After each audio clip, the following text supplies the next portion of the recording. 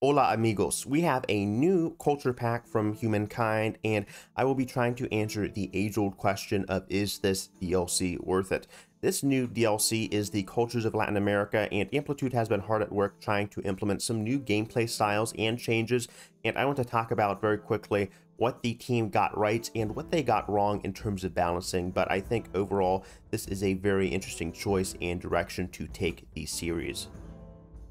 So due to a wiki and Reddit leak, we actually knew that there would be some Culture of Mesoamerica themed pack, but we didn't know the exact contents, and we received a surprise um, for the Summer Games Fest where they essentially revealed all of the new cultures and dropped it simultaneously on the same day.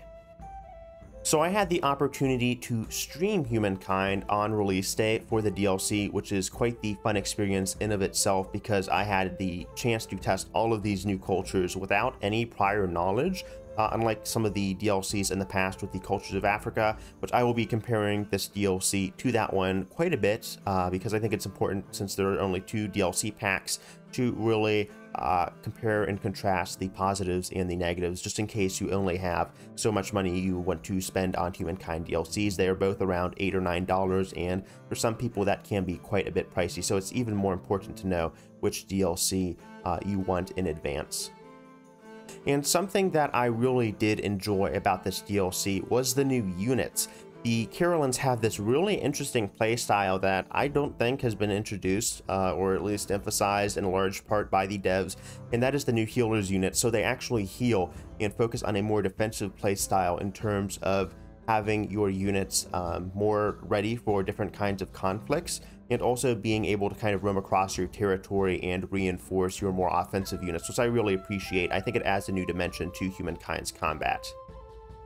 That said, I also think this DLC has some of the most inconsistent culture balancing of the two, like going from the Caralans to the Nazca was quite jarring because the Caralans had a very detailed, fleshed out playstyle, you knew they were a city building culture, whereas the Nazca had some very weird bonuses that weren't very specific on what exactly they did with the Nazca lines and how they interacted with different districts, and then their cultural ability felt very uninspired, so it's kind of a mixed bag, but I will say that this culture pack has some of the highest highs in Humankind and also some of the lowest lows.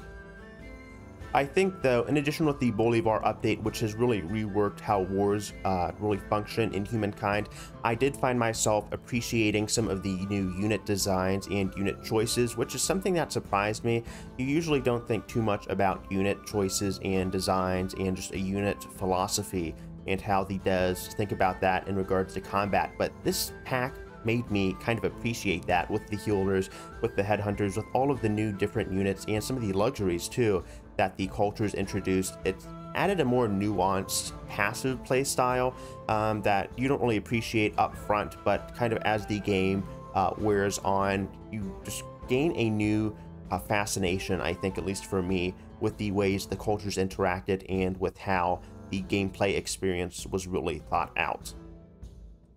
I wouldn't say this culture pack is an immediate must buy, kind of like with my general consensus with the cultures of Africa.